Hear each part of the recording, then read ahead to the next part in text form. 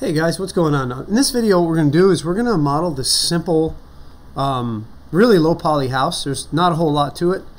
Um, we're going to get a couple different shapes, so we'll get some texture going on. Uh, another day we'll do the car. We're not going to do that. We could even do the ground, and maybe we'll even make a tree. We'll see how far we get in the video. I don't want to make it too long. Okay, so uh, let's get started. And I'm just going to call this low poly house.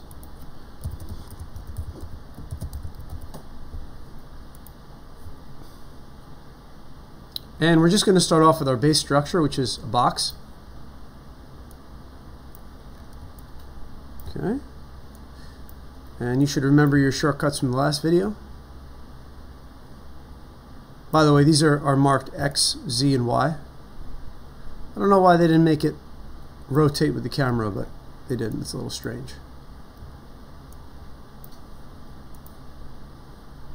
All right, this is more of this is more of like a building structure, but that's fine. Alright, so that's good. So that's going to be the base of the house. Let's go ahead and do the windows. so we're just going to make a separate structure for the windows. And there's one thing I like to do when I model is I like to go to show edges. So now we're going to just create another box. And that's going to be one of the windows. And remember, these are the move, rotate, and scale tools. The shortcuts are Q for the, for the selection tool, W for the move tool, E for the rotate tool, and R for the scale tool. It's the QWERTY keys right on top of your keyboard. It's in that order. You don't have to remember them if you don't want to. You could memorize them another time. Not a huge deal. Okay, so we're just going to modify it a little bit so it's pretty easy for us to do. Okay. We're not going to do anything where we have um, geometry inside, so we're going to keep it we're going to keep it pretty simple. Oops, didn't want to do that.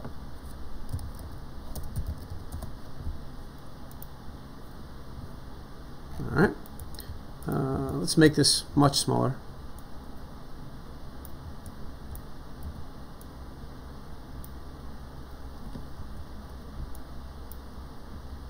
If you get this, it means it's inside out. There we go. So like that means it's inside out. We don't want it to be inside out. Okay, so that's good. Make it a little bit wider. Okay, that looks looks okay. And we'll just kind of put that inside the house. Just clip it in there. All right, cool. Now we're going to take this thing, we're just going to clone it. Uh, I'm lazy, so I'm just going to clone it. Makes my life easy. I don't have to place everything back. And I'm just going to rotate it like this.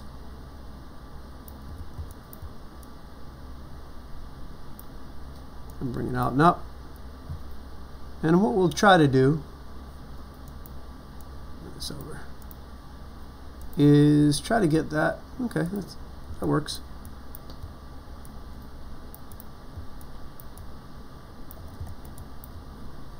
It's about the same width. Yeah, it's a little bit smaller, so let's just so we could just sort of shrink it here. Shrink it down a little bit there. That looks good.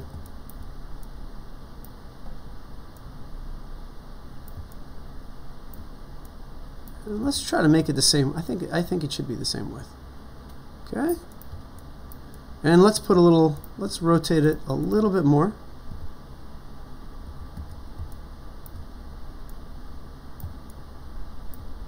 And again, I'm completely eyeballing this. You could sort of model it how you want here. That's good. And uh, we'll put a little bar in. You notice how there's a little bar right there? So we'll just go ahead and do that. So what we're going to do is we're just going to take this and we're actually going to clone it again. And this just makes our life really easy. And what we're going to do is we're going to take this out and we're going to scale it. So it's really skinny. And then we're going to rotate it the other way, like this. See? Because if you look, you'll notice that it's in the middle and it's rotated the other way. Oops. Okay. So now what we're going to do is we're going to go ahead and put this right in the middle of the window.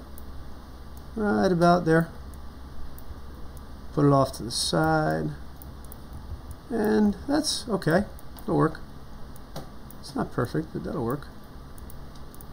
Usually only have one of these on a window, so cool. Looks good.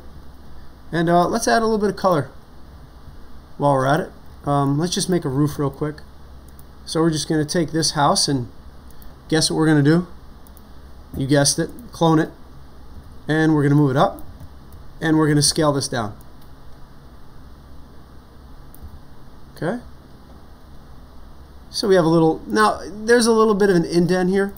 Um, we could do that with a couple different boxes. So the way we could do this is we're going to go to Edit Clone. Now there's a tool I'm not teaching you. It's called Extrude. I'm not teaching you that tool right now. Once I teach you that tool, you're going to be like, ah, oh, Mr. Slow, why didn't you teach us that tool? This makes this so much easier. It does. But I don't want to teach it to you yet. I want you to get the basics down of just placing shapes and getting the hang of the, the basic stuff first. So then when I teach you extrude, let's go ahead and clone this again. Extrude, it'll be really easy for you to do. I think I just cloned the wrong thing. Let's see, did I? Nope. Let's go ahead and clone this. So clone is like duplicate. Alright. So now what we're going to do is we're going to edit a clone again. I wish there was a keyboard shortcut for this. There might be. I just haven't figured it out yet. And we're going to rotate this. Now there's a cool thing you could do here. Open up this transform menu. And you guys see where it says negative 70 or negative 69? We're just going to put negative 90. Boop. And now I know it's, it's perpendicular to the other piece I just made. And you guys all know, I'm sure you know perpendicular means it makes a right angle or an L with the uh, shape on the other side. I'll be using words like perpendicular and things like that, so make sure we all know what I'm talking about. So these two shapes right here are perpendicular because this angle makes a right angle or 90 degree angle, okay? And then we're going to go to here and we're going to go to edit clone. And we're going to bring this back over here for another perpendicular. Bam. Looks beautiful. Okay, cool. All right. Let's just go ahead and make a door and uh, a shape in the middle. So let's go ahead and take this shape up here and we're going to go to edit clone. And I'm going to bring this right down under here. And I'm actually going to scale this out so it's a little bit bigger than the house. Just make sure it's smaller here. Okay. Definitely looks more like a building, but that's okay. Okay, make a door. Again, it's just a box. Excuse me. That's a giant door. This would be way too big for this house.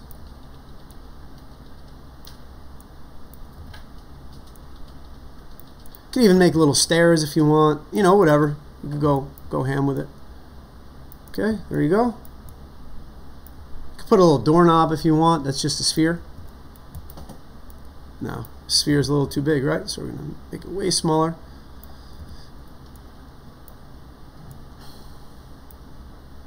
A simple little doorknob on our house. Okay? And you could add a little window. You guys could add the window on your own. Let's go ahead and add some texture to everything. So let's go ahead and make our house a nice lavender. So what we're going to do is let's, uh, you could name these things if you want. It's up to you. So what we're going to do is we're going to go ahead and make a new physical. And you could rename this thing house color. And uh, just drag this right on the house. And we want a nice lavender. You actually don't have to make it lavender. You can make it whatever color you'd like. I like lavender, so I'm making mine lavender. If you guys don't like lavender, you're, you're missing out on life. Alright, so now what we're to do is we're to make another material. And we'll, we could call this thing roof color. Roof and trim color. And we're going to drag this to here. We're going to drag this to here. And let's make this thing like a beige. That's about as good as we're going to get, I think. I'm going to add my own, my own little flair to it. All right. Cool.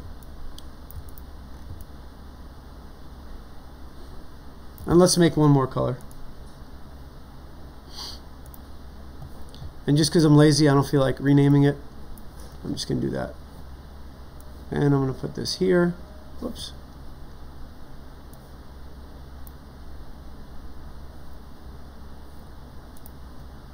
Let's try that again.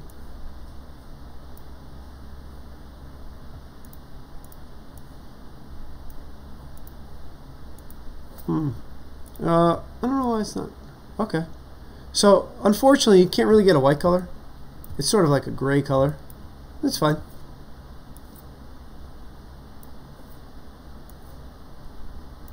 Alright.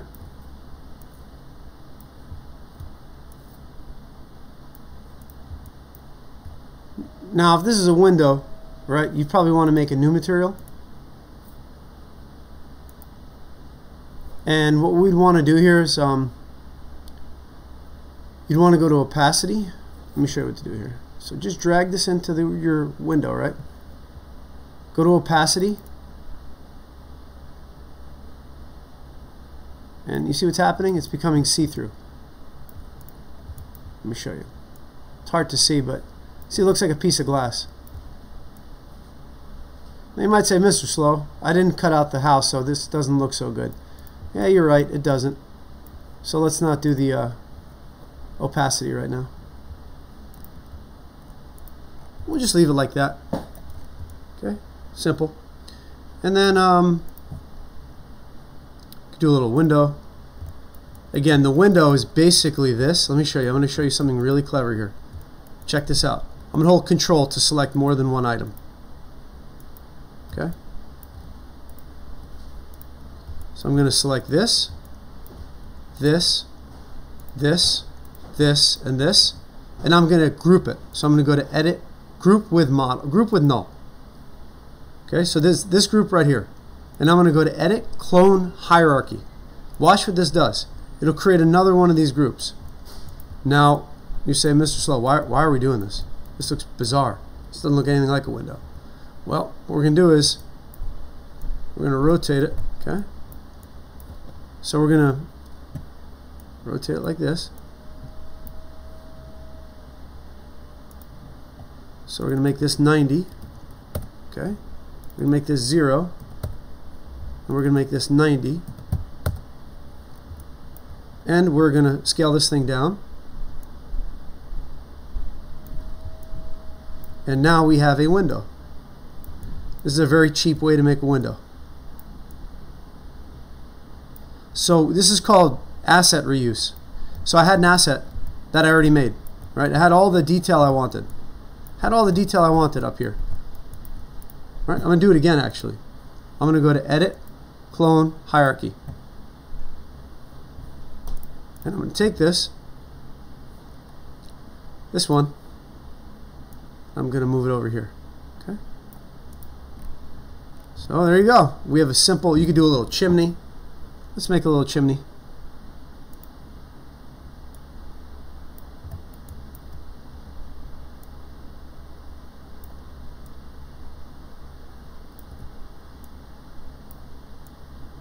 Alright.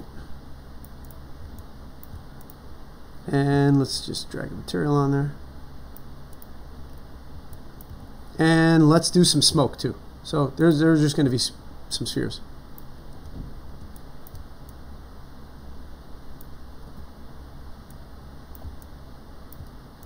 So I'm rotating my screen.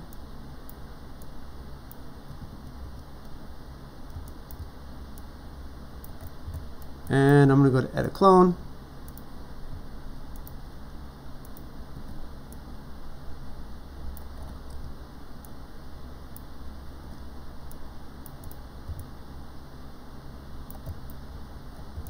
Okay, and I'm going to take these two guys, hold control to select both, and I'm going to go to edit clone.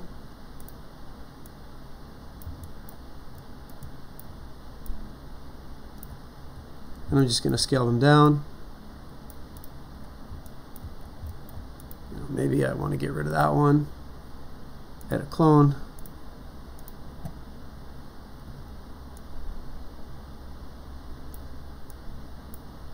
Add a clone.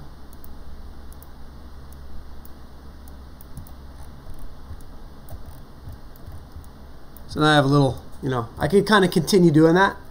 Up and up and up, you know, couple more times, three, four, five, six, seven more times. Um, and it'll look pretty good.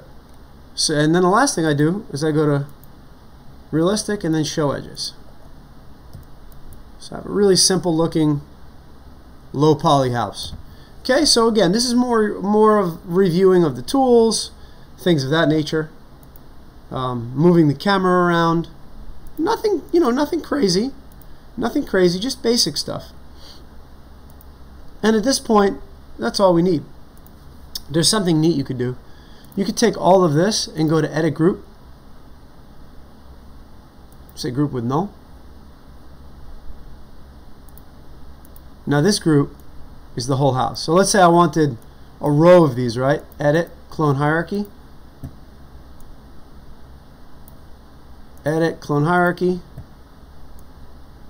You know, I could do something like this and I could start making a whole neighborhood. Obviously, I'd want to change the smoke, change up the houses a little bit, or, or not. It depends on where you are. Um, but that's it. So hopefully you found this tutorial helpful.